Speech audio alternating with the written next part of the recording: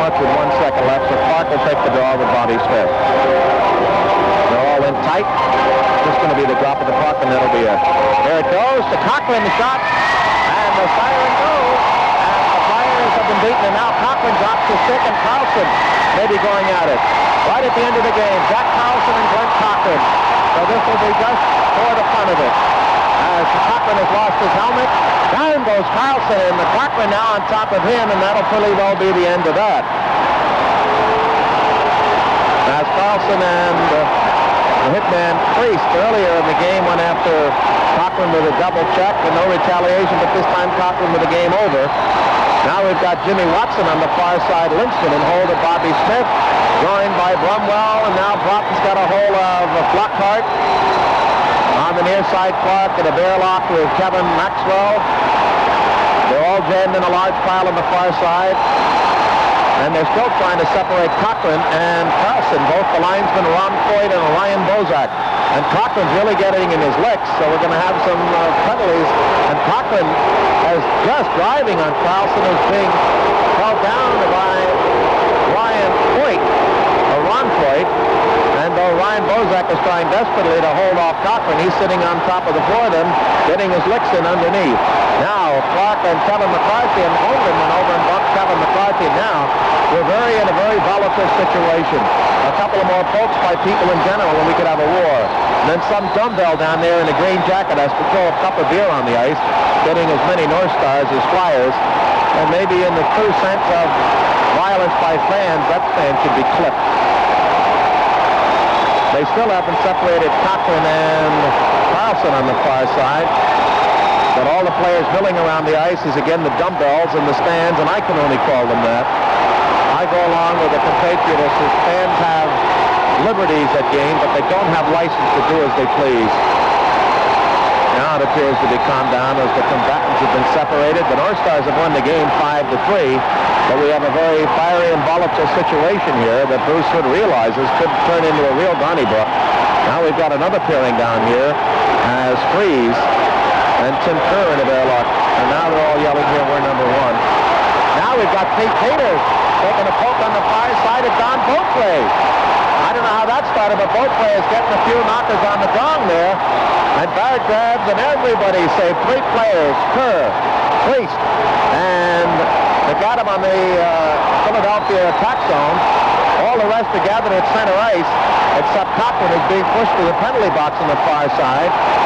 Now Coleman on the far side is pushing off the North Star player, saying he might see me alone. That's Brad Farmer in there along with Priest. And they're talking, I tell you, I'll be very surprised if Holmgren and Priest don't go at it. Now, Holmgren says, you don't want much of me. And now there's a bleeding player, looks like Don Beaupre, who's struck badly by Pete Peeters, and we're not going to be able to get all the penalties, but they're sure they're going to be a bundle now called after the game. Cochrane will get some, I'm sure, and so will Peeters. And the debris still being thrown on the ice as Ron Foyt over there now trying to separate Carlson and Holmgren as Don Beaupre with a cut over his left eye and a disheveled appearance is looking around uh, sort of dazed as to what happened to me. Glen Cochrane without his jersey is being held uh, away from the main pack by Ryan Bozak as Hood trying to get one of the catalysts off the ice, Jack Carlson, being escorted along the near side of the north side blue line by Ron Foyt. Holmgren, uh, Bruce Hood is talking to the players as if to say that's enough, but that is really a small breeze and a violent windstorm if the players don't choose to listen. Both players being pushed along the near side by Hartsburg. They're still milling around, and now the pack gets really tighter as Linseman took a grab at Hartsburg and smiling. Peeters is gone. I think Cochrane is gone, and both players gone. But all the players now remaining, save Rick St. Croix, standing off to the blue line right, are all gathered around the door leading to the tunnel and the North Star dressing room exit way. And the Flyers are saying goodnight to the North Stars. That certainly should set up the game. Remember, February 4th at the Spectrum, Radio, Radio Network, and Prism. And they're starting to chant here. There's a big crowd as usual when the Flyers in 15,784. Looking on Ilkka Sinisalo, along with Jim Dobson, the newcomer. They're all going yay, yay, yay here. And we still haven't had a separation. As the juveniles in the audience still find it necessary to beleaguer professionals standing on their field of work, Jimmy Watson looking on grimly, with cups and debris and nonsense. And I just wish those of you who uh, participate in such action would sense how you might feel in your place of business to have garbage thrown at you. Remember, I think you have a privilege and an opportunity to come and watch and do, but when you take part as garbage is being thrown down now, you degrade not only the game, but you degrade those people who are there. And now a whole cup of beer goes down on the ice. And that was an obvious visual person, the man standing up there with the brown jacket, who's standing well away from the participants and acting with a great deal of courage. And one of the attendants here is trying to get some water up in there.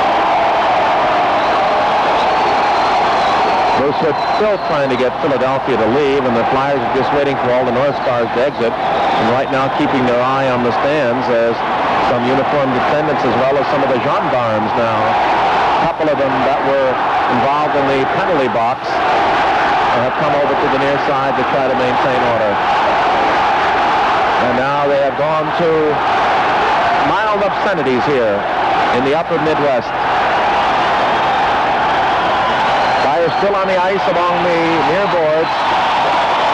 The North Stars have left partially, but they're still gathered all by the Minnesota player bench directly in front